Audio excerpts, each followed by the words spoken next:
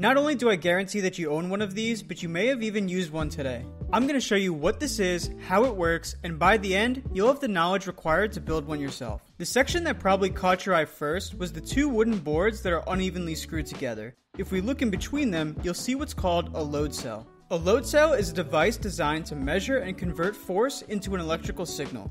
The size of this electrical signal is proportional to the force applied. In basic terms, if I push down on the top wooden board, the load cell emits an electrical signal. The harder I push, the greater the signal.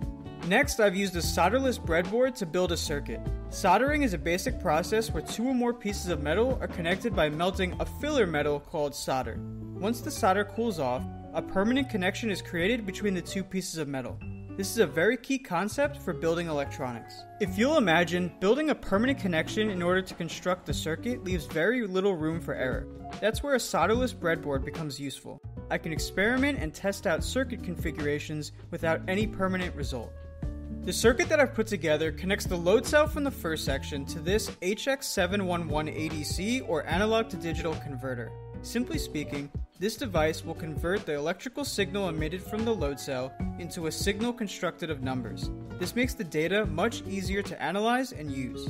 Once the signal leaves the analog to digital converter, it is sent to this Raspberry Pi, which is just a lightweight computer. From there, I can write code to use the digital input any way I like.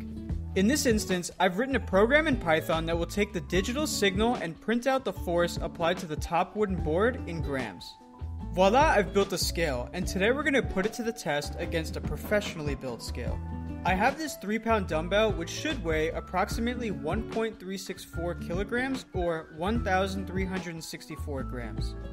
To verify that the dumbbell weight is accurate, I've used the professional scale, which tells me the weight is slightly less than expected at 1,356 grams. Let's see what my scale has to say.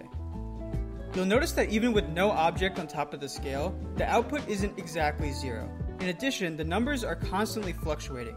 A major contributing factor is the lack of soldering.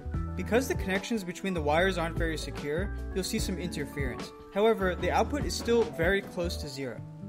Once I place the dumbbell on the scale, you'll see that the output hovers around 1356, which means that my scale seems to be at least as accurate as the professional scale. Once again, occasionally you will see an incorrect value that is way off, which mostly can be chalked up to the instability of the circuit. If you're wondering why exactly I'm building a scale in my apartment, this is a small part of a much bigger project that I'm working on. Check out this video that explains the bigger picture.